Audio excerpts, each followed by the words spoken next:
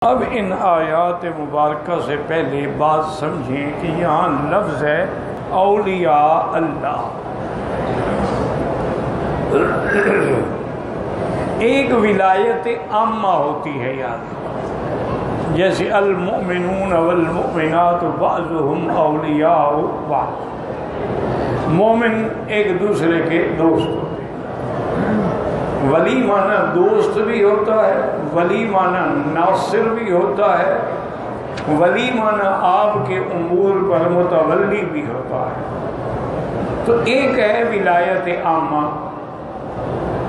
کہ سب کو حاصل جیسے اللہ فرماتے ہیں، اللہ ولی الذین آمنوا یخرجهم من الظلمات الى النور۔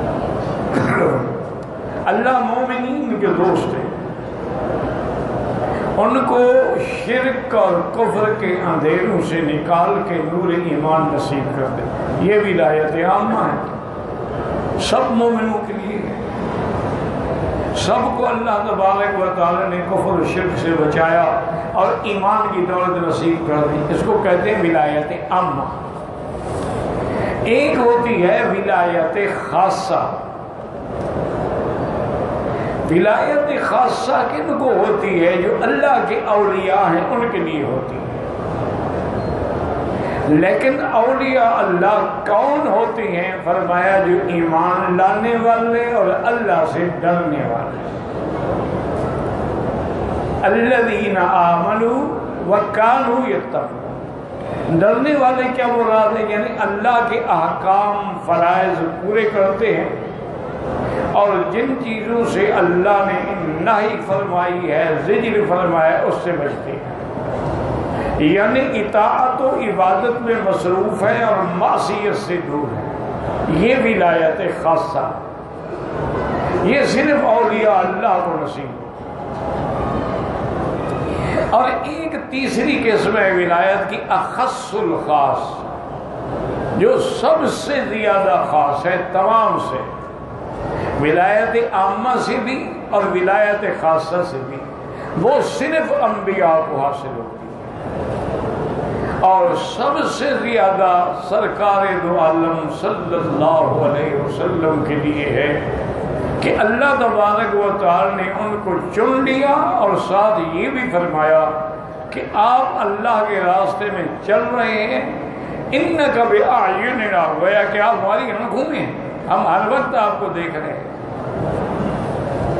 جیسے اللہ نے فرمایا کہ یرا کہیں نہ تقوم، جب تم نماز کے لیے کھڑے ہوتے ہو، ہم دیکھ رہے ہیں۔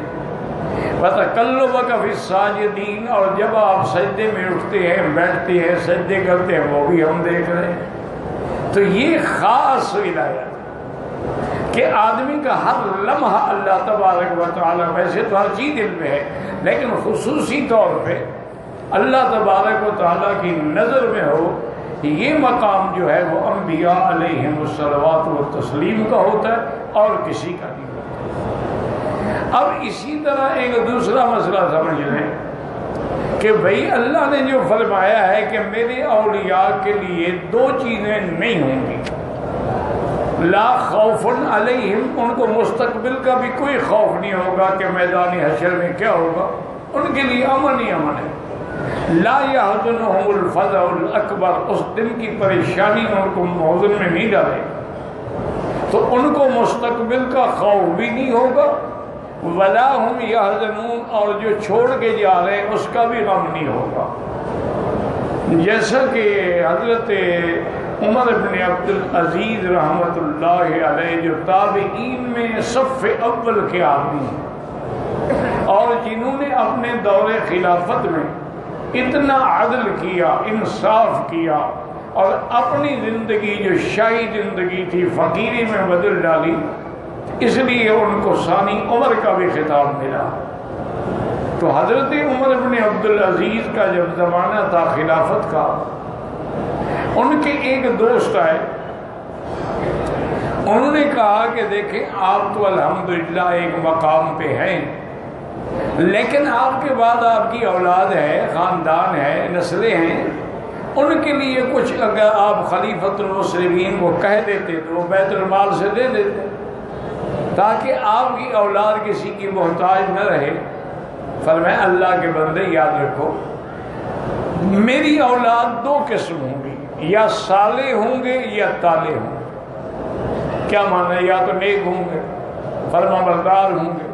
اطاعت گزار ہوں گے یا نافرمان ہوں گے؟ اور اگر نافرمان ہوں تو ان کے لیے میں کیوں دولت اکٹھی کروں؟ اور اگر وہ صالح ہوں گے تو اللہ کا فیصلہ ہے کہ ان ولی اللہ نظر الکتاب ہو یا تو صالحین تو صالحین کا دوست اور متولی تو اللہ ہے، مجھے کیا فکر ہے؟ تو اس لیے ہمیشہ یاد رکھیں کہ اولیاء اللہ کا معنی ہی یہی۔